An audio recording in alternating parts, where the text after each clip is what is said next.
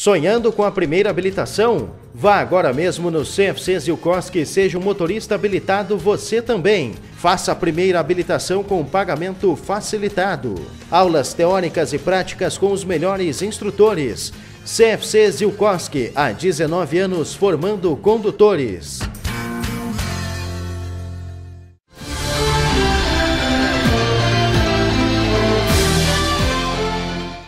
Um acidente envolvendo três caminhões ocorreu no fim da tarde de sexta-feira, 15 de janeiro, no quilômetro 315 da BR-116, próximo ao acesso à Barra do Ribeiro.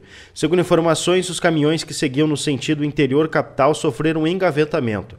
As causas do acidente ainda não foram divulgadas. O trânsito precisou ser intercalado pela Polícia Rodoviária Federal. Segundo populares, houve um princípio de incêndio, mas foi controlado pelos bombeiros. Não há informações de vítimas. Música